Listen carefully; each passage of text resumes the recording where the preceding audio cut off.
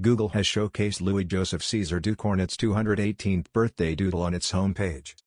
Google logo was temporarily changed to this doodle in many countries. The very first doodle was published way back in 1998, and was a bit of a joke from Google founders Larry Page and Sergey Brin to remind Googlers they would be out of office for Burning Man. The first animated doodle premiered on Halloween 2000.